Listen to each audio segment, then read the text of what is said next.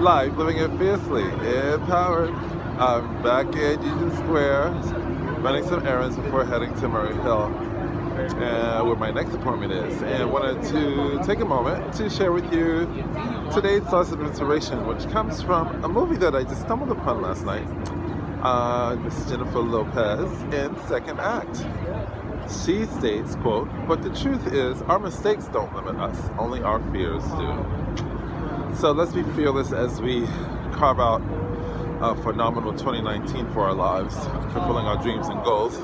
Stay focused, and I leave you with uh, some wonderful words from uh, a wonderful human being, Ralph Waldo Emerson, from a book entitled Because of You Celebrating the Difference You Make, compiled by Dan Zadra and Katie Lambert. Quote, Our greatest glory is not in never failing, but in rising every time we fail.